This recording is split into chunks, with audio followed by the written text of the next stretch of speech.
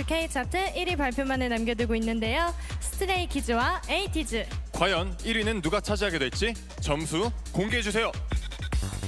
디지털 음원 점수, 방송 횟수 점수, K-팝 팬 투표 점수, 음반 점수, 소셜 미디어 점수. 그렇다면 과연 1위의 주인공은 네, 에이티즈 축하드립니다. 소감 부탁드릴게요. 와. 티니!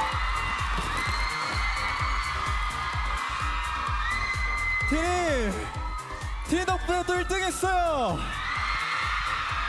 일단 이렇게 1등을 하게 해준 우리 에이틴이 너무나 감사하고요. 우리가 이제 활동을 계속 달리고 있는데 우리 티니가 이렇게 또 큰 선물을 주니까 저희가 남은 활동도 아주 건강하게 열심히 힘내서 잘 마무리하도록 하겠습니다. 그리고 저희 나와주신 부모님들, 에이티즈 부모님들 너무나 감사하고요. 항상 저 옆에서 챙겨주시는 우리 스태프분들과 매니저님들, 형님들한테도 감사하다고 말을 해드리고 싶었습니다. 감사합니다. 에이티니 사랑해요.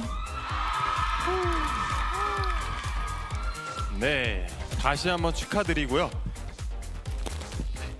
다음 주에 상반기 결산 여름 특집으로 찾아뵙겠습니다. 그럼 저희는 이만 인사드릴까요? 음악이 필요할 땐 생방송 뮤직뱅크 즐거운 주말 보내세요. 에이티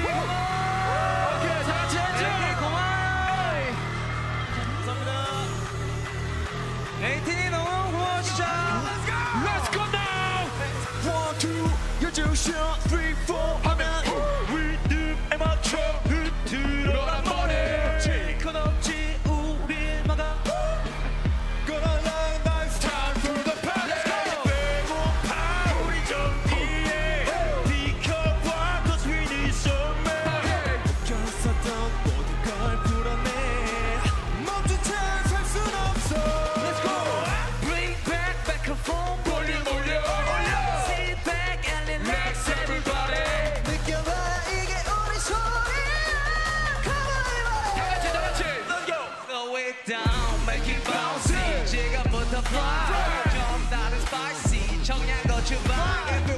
know how I can show you right.